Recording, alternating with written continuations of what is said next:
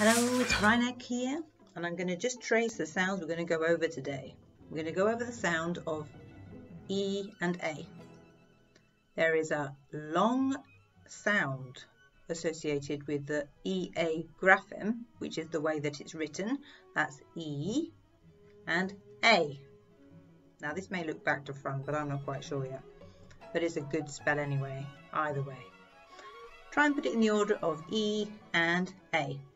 So you'll see this word commonly as ear, bear, and feast and beast. So to begin with, we are going to look at the long EA sound, which sounds like double E or E.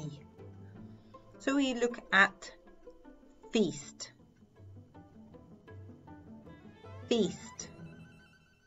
The A becomes almost like another E. So feast and you beasties. I'm not saying that people should feast on beasties, but F E A S T and B E A S T I E S is a spell that I do often. And usually there's a huge heap of beasties leaping in the vicinity to where I do my witchcraft.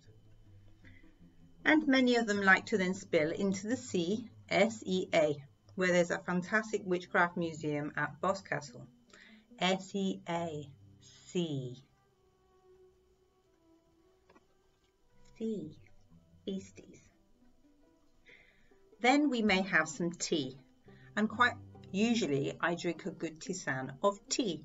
That's T E A T long E. And sometimes my T is very weak. That's W-E-A-K, weak, spelt weak. The A becomes like an E, weak. So W-E-A-K, weak. Then there is a leak sometimes in my cauldron and it becomes complicated then to keep all the beasts and other things inside. L E A K. L E A K. And that's the E A sound. Then I usually add some heat. H E A T. Heat. Or heat. The A becomes like another E.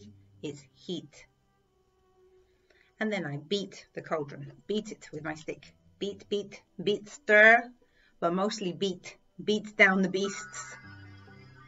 So that's B, E, A, T, and the A becomes like A, E, but you spell it E, A, long E, A, B, E, A, T, beat. And after a while, it becomes very neat looking. N E A T. Neat. Nyat neat. That's N E A T. Then usually a lot of steam. Steam. And the A becomes like an E so it's steam. S T E A M S T E A M steam.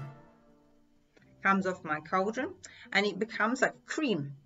Just like when you're um, you're making a cake. The mixture becomes kind of creamy. That's C R E A M Y. That's creamy, very creamy and steamy and full of beasties.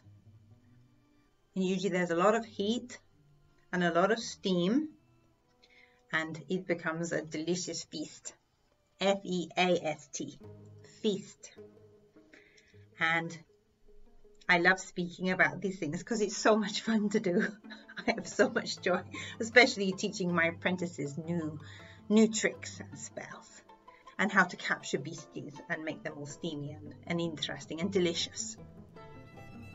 And sometimes the mixture tastes just like a peach. P-E-A-C-H. Peach. Mmm, delicious. Mmm. Can you imagine those beasts tasting just like a peach? Okay. This is Reinek signing out. For now. See you later, princess. I'm waiting for Blackcaps to join me soon, my other little apprentice. Have a lovely evening and day.